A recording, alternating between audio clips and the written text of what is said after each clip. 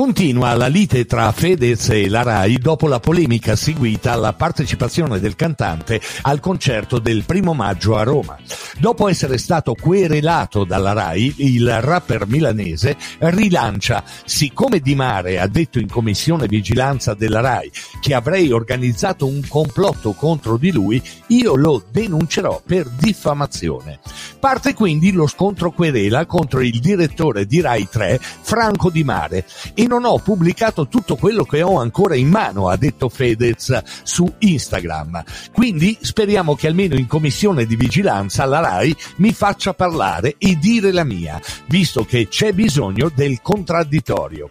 Sapevo come sarebbe finita e sono felice di questo perché ci sono tante cose che devono emergere.